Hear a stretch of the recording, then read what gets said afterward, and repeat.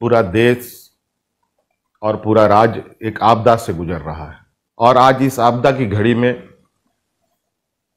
पूरे देश में, पूरे राज्य में विभिन्न हमारे व्यापारी मित्र भी इस आपदा की घड़ी में अपना सहयोग दे रहे हैं।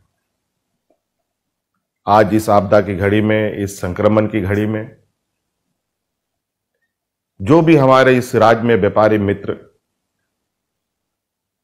सहयोग कर रहे हैं अपने दुकानों के माध्यम से, चाहे वो राशन दुकान हो, चाहे वो दवा की दुकान हो, चाहे वो सब्ज़ी की दुकान हो, जितनी भी एसेंशियल गुड्स हैं, जितनी भी आवश्यक वस्तुएँ हैं, उसको आम जनों तक उपलब्ध कराने के लिए जितने भी व्यापारी साथी यहाँ लगे हैं, उन सबको मैं बहुत बहुत धन्यवाद देता हूँ और आभार प्रकट करता हूँ। आप लोगों से ये उम्मीद होगी कि आप इस आपदा की घड़ी में निश्चित रूप से आने वाला समय में भी यहाँ के लोगों के लिए, गरीबों के लिए, ग्रामीण से लेकर शहरी क्षेत्रों के लिए अपनी सुविधा उपलब्ध कराएँगे।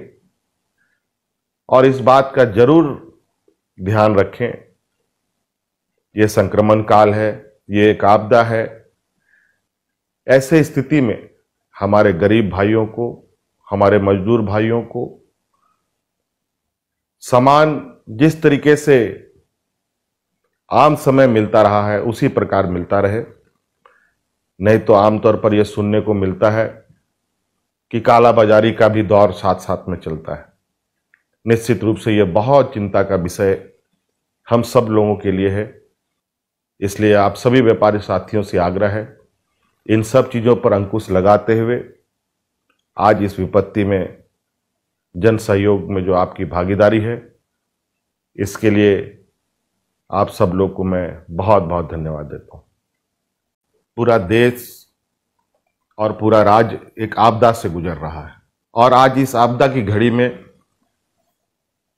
पूरे देश में, पूरे राज्य में विभिन्न हमारे व्यापारी मित्र भी इस आपदा की घड़ी में अपना सहयोग दे रहे हैं। आज इस आपदा की घड़ी में, इस संक्रमण की घड़ी में, जो भी हमारे इस राज्य में व्यापारी मित्र